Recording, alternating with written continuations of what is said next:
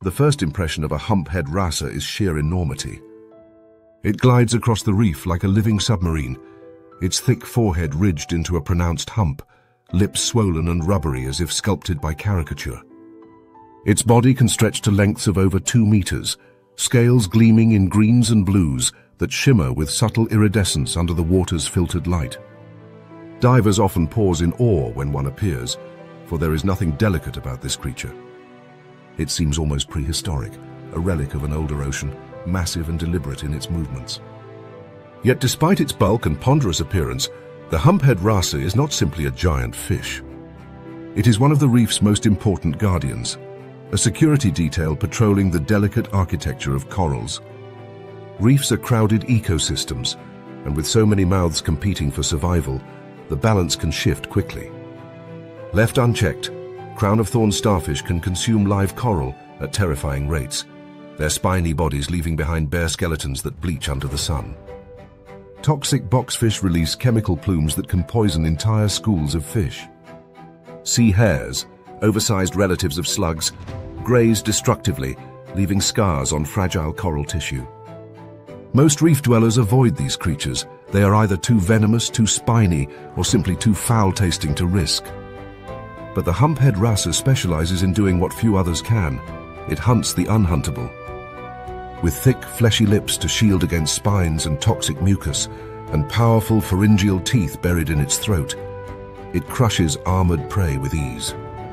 One decisive bite can dismantle a starfish, while boxfish venom that would kill another fish barely slows it down.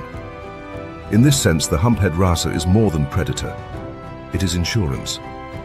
By consuming species that threaten corals, it helps maintain the very architecture on which thousands of other reef organisms depend.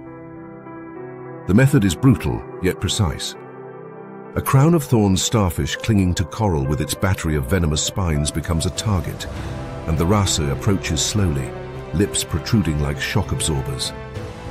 With a sudden thrust, it grips the starfish, ignoring spines that would pierce the skin of lesser fish.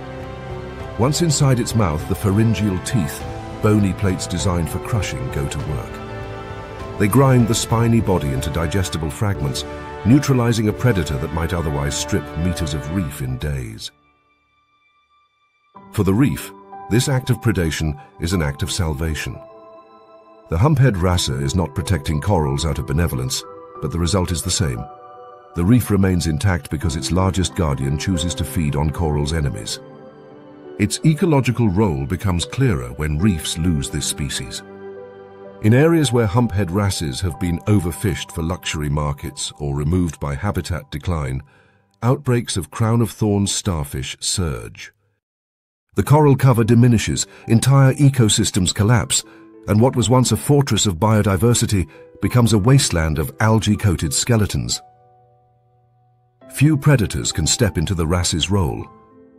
Reef sharks hunt in open water, snappers and groupers target fish, but the job of crushing starfish, toxic fish and shelled invertebrates belongs almost solely to this bulky reef guardian. Remove it, and you pull out a keystone of the ecosystem's defense. Yet its importance does not end at diet. The humphead wrasse carries one of the strangest life histories in the ocean. It changes sex. Born most often as females, many live their early years feeding and growing within reef networks. Then, as populations shift or males disappear, certain females undergo a transformation. Their hormones flip, their ovaries regress, and testes develop. They change color, often becoming more vibrant, and eventually dominate as males, defending territories and breeding rights. This process, known as protogynous hermaphroditism, means that populations hinge not on how many fish are born male, but on whether enough survive to grow large enough to make the transition. The implications are profound. Coral reefs are healthier where humphead wrasses remain in strong numbers, but the survival of those reefs also depends on whether populations still have their kings, the giant males that anchor breeding groups. Remove too many large individuals and the chain breaks. Without enough dominant males, reproduction falters. Without reproduction, the guardians decline. Without guardians, coral enemies expand unchecked. In this sense, the humphead wrasse is not just another reef fish. It is a monarchy system, a biological kingship where the security of corals depends directly on whether the coelacanths still rule the reefs. Life for a humphead wrasse is long, far longer than most reef fish. Individuals can live for more than 30 years, patrolling the same coral networks for decades, returning to favored resting ledges and feeding grounds with a memory that stretches across generations of coral growth. This longevity compounds their ecological role. A single wrasse can consume thousands of coral predators across its lifespan, its repeated patrols helping to keep outbreaks suppressed. But that same longevity makes them vulnerable. Slow to mature, and slower still to replace themselves, their populations cannot bounce back quickly from overharvesting. For every giant removed, decades of ecological security vanish in a single catch. Observing one in its element reveals the contradiction of its existence. It moves slowly, almost lazily, lips brushing over coral as if grazing gently. But when it finds a sea hare or a starfish, the transformation is sudden, a thrust forward, lips sealing, throat teeth grinding, and within seconds the threat is gone. Nearby fish resume their routines, the reef carries on, and the wrasse moves to the next patrol. To divers, its sheer size is intimidating, yet its demeanor is calm, almost curious.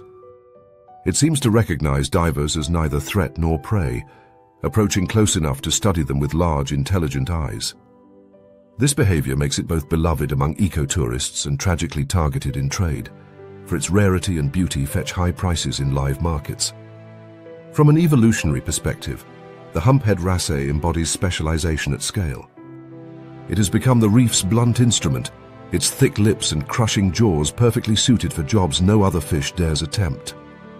It has also become a genetic gambler, with its reproductive system tuned to environmental conditions and social hierarchies.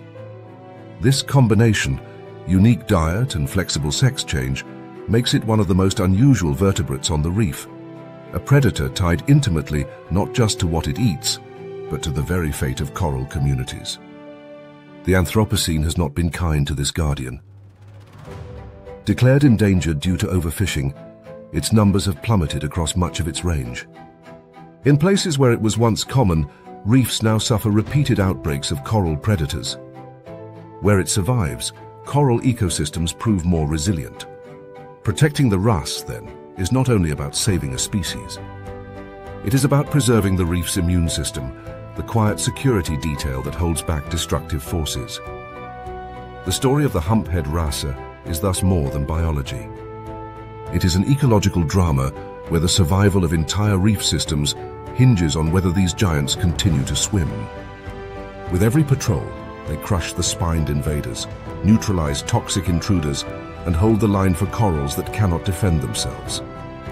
And with every year they live, they carry the reef's fortunes forward, ensuring that when a female transforms into a king, the monarchy of protection continues.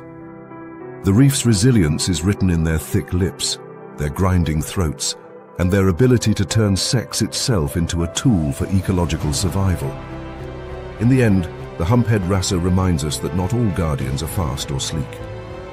Some are massive, deliberate, and improbably shaped, wearing swollen lips and a forehead hump like armor. But within those strange features lies the power to preserve entire ecosystems. It is not just a fish. It is the reef's insurance policy, its monarchy, and its security force. An irreplaceable defender in an ocean where balance can collapse in an instant.